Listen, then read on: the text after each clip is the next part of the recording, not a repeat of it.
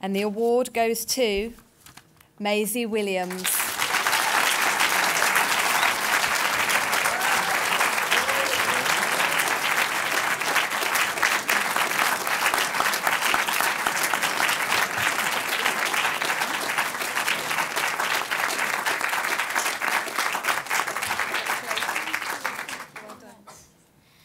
Um, I'd first like to thank uh, all the critics. Um, it's such a pleasure to be here, let alone win an award. Um, uh, and Carol Morley, who is the writer and director of The Falling, um, who gave me the opportunity to play a character that no one's ever seen me in before.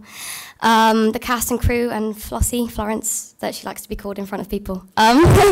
Uh, and my agent, Louise, who convinced me six years ago to start acting. Um, thank you. Um, and Alex and my mum, who has granted me the wish of letting me do what I want for a living, and that's really all that I could ask for. Thank you.